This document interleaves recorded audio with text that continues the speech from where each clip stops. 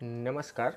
आज के इस वीडियो में यहाँ पर मैं आपको एक ऐसा तरीका बताऊँगा जिनसे आप केवल एक से दो दिन में ही ये जो दांत, खाज और खुजली है, इनसे आप आसानी से छुटकारा पा सकते हैं। यहाँ पर आपने देख ही लिया होगा कि ये जो है ये गेंदे का फूल है।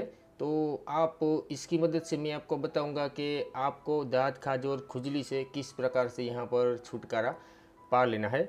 जो मैं तरीका बताऊँगा, आप ध्यान से देखिए, ध्यान से सुनिए। और दोस्तों, आपका ज़्यादा टाइम भी नहीं लूँगा।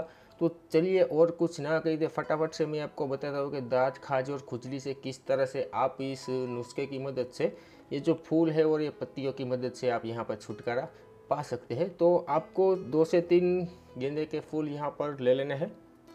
इसकी पत्तियाँ पूरे भारत में यहाँ पर पाई जाती है। तो तो आप इसको आसानी से कहीं से भी ढूंढ सकते हैं। यहाँ पर फिर दोस्तों आपको करना क्या है, ये जो पत्तियाँ है इसको अच्छी तरह से वॉश करके आपको ये जो पत्तियाँ है वो अलग कर देनी है इस तरह से।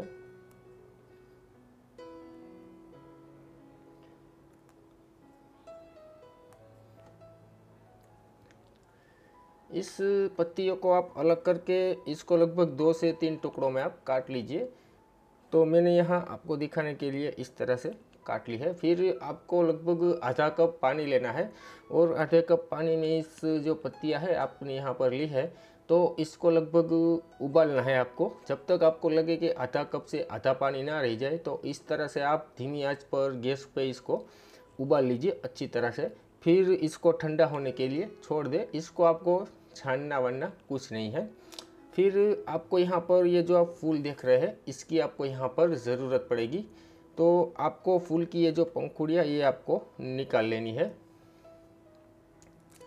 ये आप आसानी से इस तरह से निकाल सकते हैं। ये तो आपको भी पता है। तो आप लगभग एक से दो फूल की ये जो पंखुड़िया, इस तरह से आप यहाँ पर निकाल लीजिए और इसकी आपको एक चटनी बनाकर तैयार कर देनी है। तो दोस्तों, हमने यहाँ पर इसकी ये जो चटनी है वो पहले से ही अब बना कर रखी है इस फूल की। ये देखिए, एक से दो फूल की मैंने यहाँ पर ये जो चटनी है वो यहाँ पर बना के रखी हुई थी। इसके बाद जो हमने जो पानी जो ठंडा होने के लिए छोड़ दिया था पत्तियों वाला, वो भी लगभग बिल्कुल अच्छी तरह से ये पानी है वो ठंडा हो गया है। तो आपको क्या करना है, जिस हिस्से पर भी आपको दांत, खाज और खुजली की जो प्रॉब्लम्स है उस हिस्से पर ये जो पानी है, इनसे आपको वॉश करना है। ये जो पत्तियाँ है आपको, वो नहीं निकालनी, केवल ये जो पानी है, वो इस तरह से आप ले लीजिए। कॉटन की मदद से उंगली की मदद से, अच्छी तरह से आप इस तरह से इसको वॉश कर लीजिए। तो अच्छी तरह से जब वॉश हो जाए तो आप इसको सूखा लीजिए।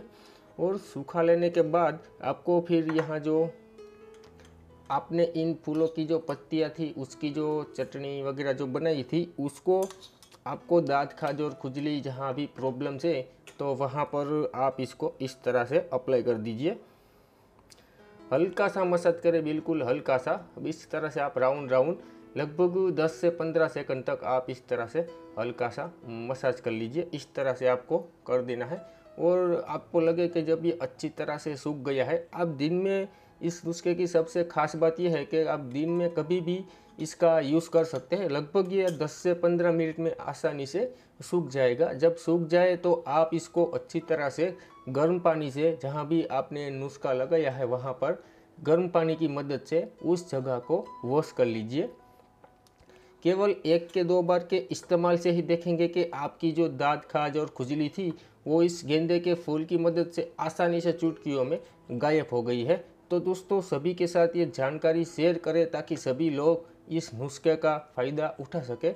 मिलता हो किसी ऐसे ही नुस्खे में। नमस्कार।